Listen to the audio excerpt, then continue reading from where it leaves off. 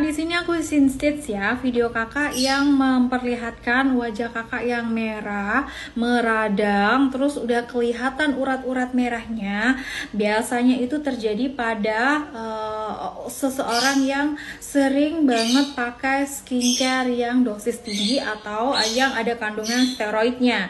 Jadi untuk teman-teman nih bagi siapa pun ya yang melihat video aku, kakak uh, jalan satu-satunya kakak harus berhenti kalau memang udah mulai tipis dan rawan banget ya kulitnya itu kakak berhenti dan ganti pakai skincare yang basic apalagi aku ada solusinya kakak juga bisa pakai serum revitalift essence yang ada kandungan ekstrak bunga sakuranya.